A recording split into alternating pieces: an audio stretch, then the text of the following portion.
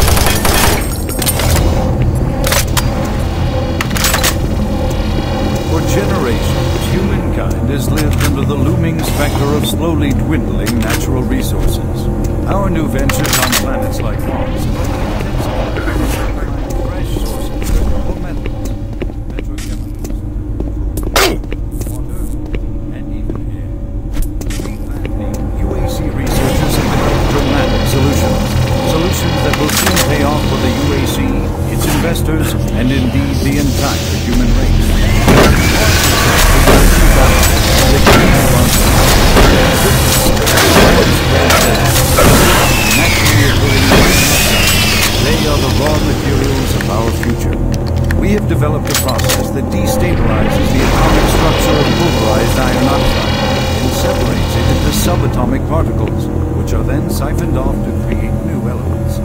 Like alchemists of old, the elemental phase deconstruction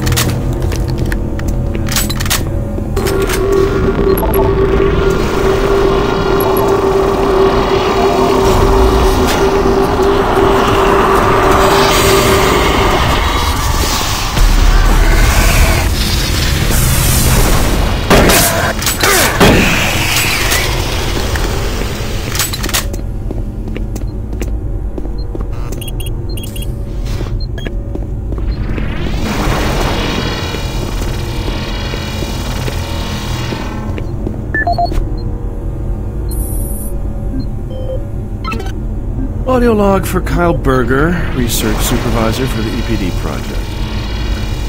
Uh, the uh, The elemental phase deconstructor is fully operational, and the research data we have gathered so far is very impressive. Unfortunately, we had a terrible accident last week. Research assistant Patterson was calibrating one of the quark emitters in the chamber, and witnesses said it appeared to like someone was talking to him, and uh, he backed right into the particle beam. It was not a pretty sight, as it took off the backside of his head.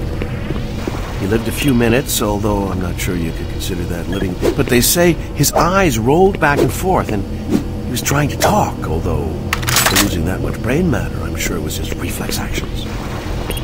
Anyway, due to this, I have enacted new safety protocols in the lab, and we have stocked one of the storage cabinets with emergency medical supplies. The code for the cabinet is 752. End of log.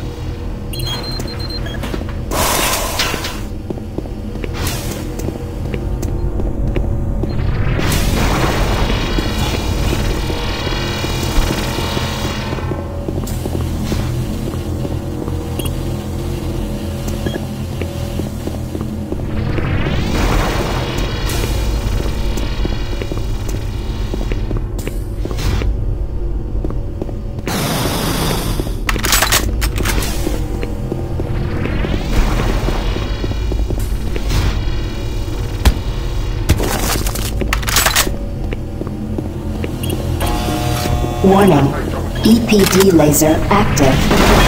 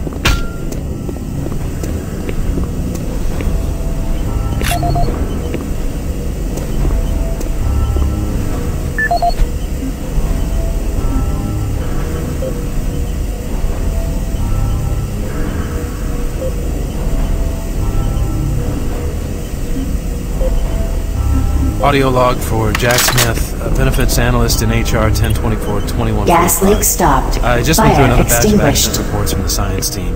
We've had five more people hurt this week while working with the equipment. The most serious incident was one John Hughes, whose hand was caught in one of the plastic extrusion systems. He was performing maintenance on it and states that he unplugged it and had the safety key in his pocket.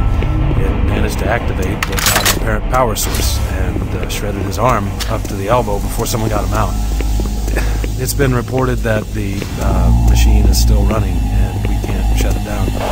The cost on that incident alone is enough to raise the red flag, but this is one in a pile. and We're going to overrun our budget the benefit payout this quarter. And while it's not my department, I have to assume that the budget is going to as well.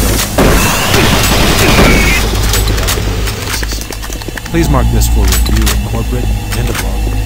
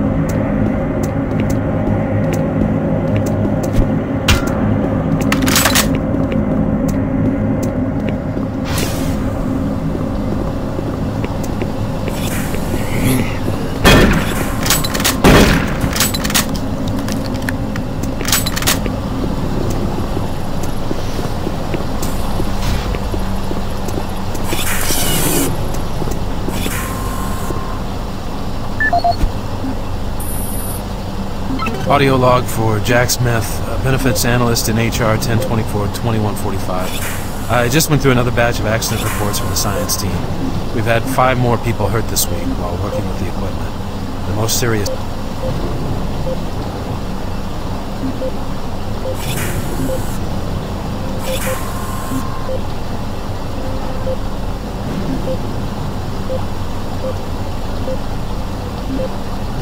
For general... Safer worlds for everyone. For centuries, people on Earth have waged war over two things vital to human existence, fuel and water. As part of its ongoing commitment to create safer worlds for everyone, the UAC recently unveiled its development of the Hydrocon. Though still in its prototype stages, the Hydrocon will, in one dramatic move, forever end all shortages of water and fuel. By splitting iron oxide molecules, the Hydrocon produces oxygen and hydrogen cheaply and safely without the need for large amounts of electricity. The hydrogen is then used for hydrogen fuel, a substance so versatile and clean that it can be used in everything from home appliances to today's most demanding rocket engines. A side benefit of producing this fuel is an endless supply of pure, spring-like water that is more refined than any earthbound spring. We envision a world where technologies such as the Hydrocon can be used to end drought and civil strife in impoverished nations where water or fuel had ever been in short supply. While always at the forefront of scientific research and development, Aerospace hopes that the creation of the Hydrocon will continue to make safer worlds for everyone.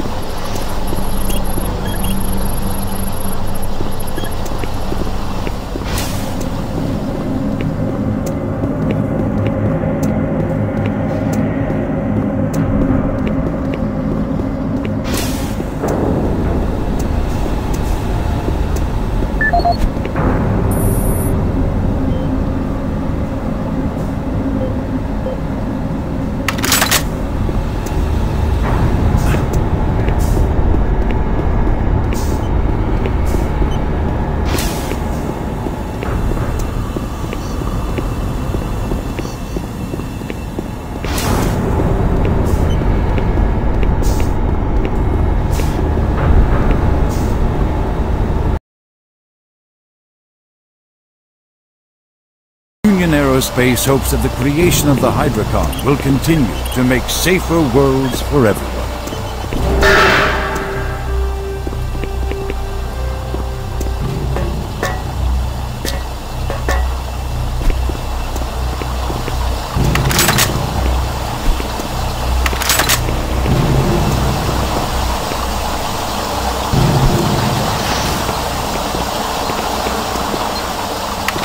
Yeah.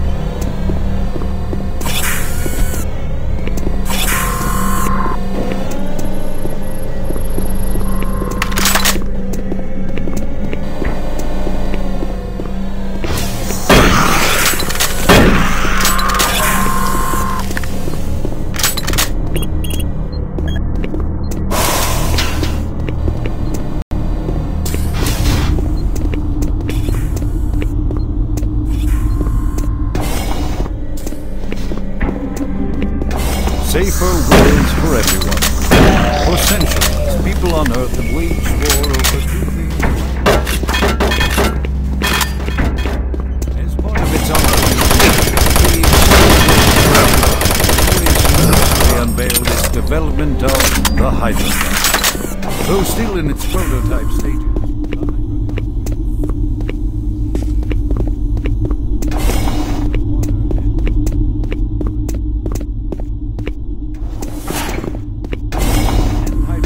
cheaply and safely without the need for large amounts of electricity.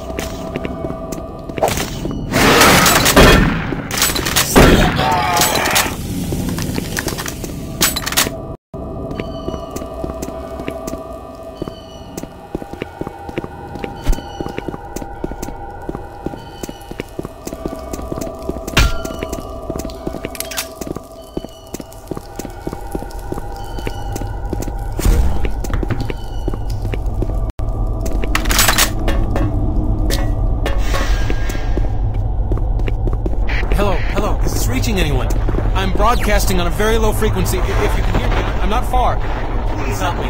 I've locked myself in storage room C4. Please, if anyone can hear me, please help me.